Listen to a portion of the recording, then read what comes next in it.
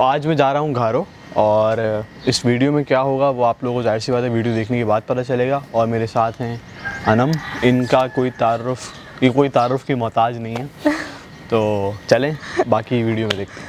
चलो भाई। चलते हैं।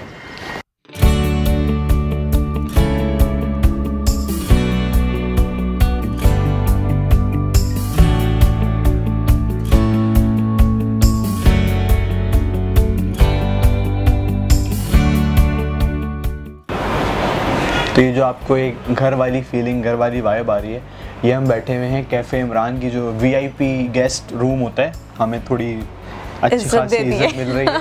तो हम वहाँ बैठे हुए ये आप हमारे सामने देख सकते हैं काफ़ी सारा नाश्ता है बहुत सारी चीज़ें हैं। तो अभी हम ये नोश फरमाएँगे और आपको बताएँगे ये कैसा है। तो खाते हुए तो वीडियो बनेगी नहीं हम खाएँगे ज़ाहिर सी बात है। तो पहले खाएँगे बाद में फिर आपको बताएँगे कि कैसा, कैसा लगा हमें। ये देखिए आप कितना प्यारा सा मासूम सा। एक तो प्योरो प्योरो जानवर है।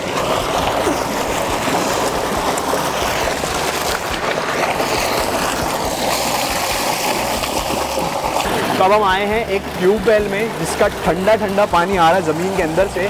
अब हम शायद नहा नहीं सकते क्योंकि हम कपड़े नहीं लाए, लेकिन जो भी लोग यहाँ आते हैं दूर दराज से, एक मेरे सामने एक बहुत खूबसूरत सा खेत है और उसी के किनारे ये एक ट्यूबवेल है, जिसमें लोग अक्सर गाँव आते हैं नहाने के लिए और इतना ठंडा पानी कुछ कहना चाहेंगी आप खातून? बिल्कुल मैं कहना चाहूँगी कि आप घरों आएँ और यहाँ पर ना नहाएँ ऐसा तो पॉसिबल ही नहीं है। आप आएँ तो वैसे यहाँ पर लोग मैंने देखा नहा रहे थे तो ख्वाहिश तो हमारी भी थी बहुत लेकिन ऐसा पॉसिबल नहीं है। तो मेरे लिए मैं वाकई ज़िंदगी में पहली बार ये सारी चीज़ें एक्सपीरियंस कर रहा हूँ कि ट्यूबवेल खेत ये सारी चीज़ें तो अच्छा लग रहा है। हम अक्सर मूवीज़ में देखते थे ड्रामों में देखते थे ऐसी चीज़ें। तो खुद एक्सपीरियंस करने में अलग ही मज़ा आ रहा है। मुझे पता चल रहा है कि किस तरीके से पानी आता है ये सारी चीज़ें। तो ये मेरे लिए बड़ी इन्फॉर्मेशन है। तो मुझे बड़ा मज़ा आ रहा है। हाँ, आ, तो किस तरह से लाइफ डिफरेंट है हमारी वहाँ पर और यहाँ पर? और ये कितनी नेचुरल सारी चीज़ है। हम लोग कितना दूर हैं इन लोगों से। हमें कुछ आइडिया ही नहीं है। हम यहाँ पर आते हैं तो हमें पता चल रहा है कि ये सब ऐसा होता है ऐसे लोग एंजॉय भी कर सकते हैं। हम वहाँ पर इतना मसरूफ रहते हैं। तो तो टाइम निकाल कर ना आपको आना चाहिए अपने लिए भी वक्त निकालना चाहिए। तो ये एक और एक चीज़ थी। अब हम किसी और मुख्तलिफ़ जगह ढूंढते हैं कोई ऐसी चीज़ जो आप लोगों को दिखा सकें। गाँव वाली एक क्या कहते हैं ज़िंदगी। तो चलें। तो इस वक्त मैं मौजूद हूँ बम्बोर के मुकाम पे और मेरे लिए ये बात जो है, ये जो मकाम है, ये थोड़ी इंसल्टिंग सी बात है मेरे लिए कि मुझे इस जगह के बारे में मालूम नहीं था।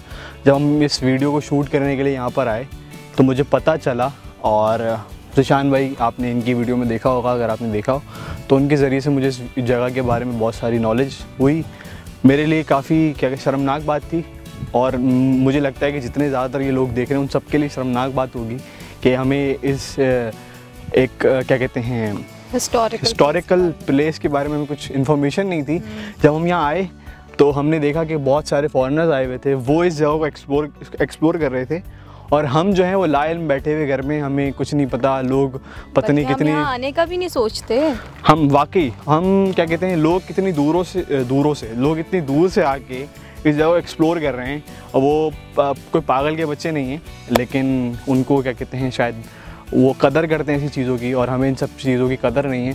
तो मेरी आप लोगों से दरख्वास्त है कि आप आएँ यहाँ पे विज़िट करें कितनी हिस्टोरिक प्लेस है ये और क्या क्या हिस्ट्री क्या है इसकी पूरी। मेरे इर्द गिर्द देखें आप व्यू कितना खूबसूरत है वैसे भी। व्यू और हिस्ट्री होती है ना लगाव जिनको होता है जिनको कीड़ा होता है।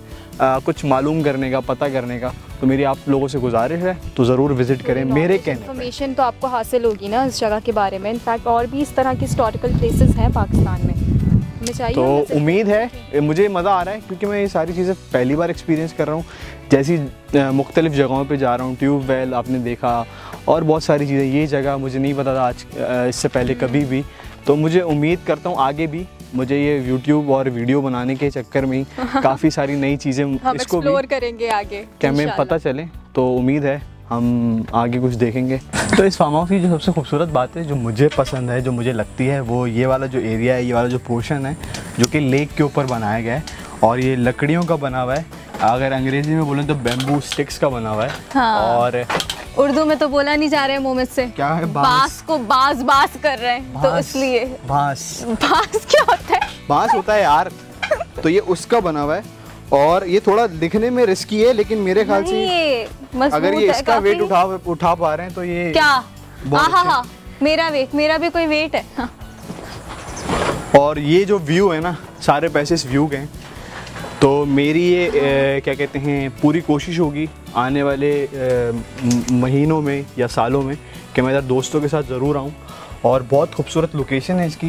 ये सेटला सैटेलाइट टाउन में है पड़ता ये जो फार्म हाउस है। तो क्या कहते हैं मैं ज़रूर आऊँगा यहाँ पे। आपने मेरी जो वीडियो देखी मैं गारो आया था। मैंने कैफ़े इमरान जो बहुत फ़ेमस है उस पर नाश्ता किया।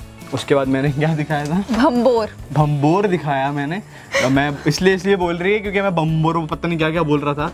तो वो मैंने दिखाया और उसमें उसके बारे में मैंने काफ़ी सारी बातें की। अगर आपने सुनी हो तो ज़रूर उन पर अमल अमल दरामद करिएगा।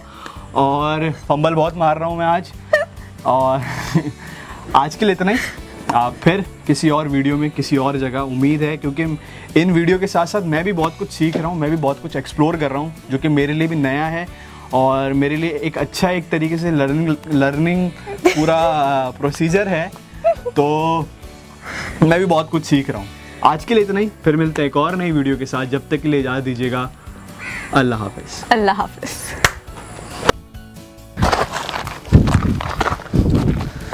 तो इस वक्त मैं मौजूद हूँ बम्बूरा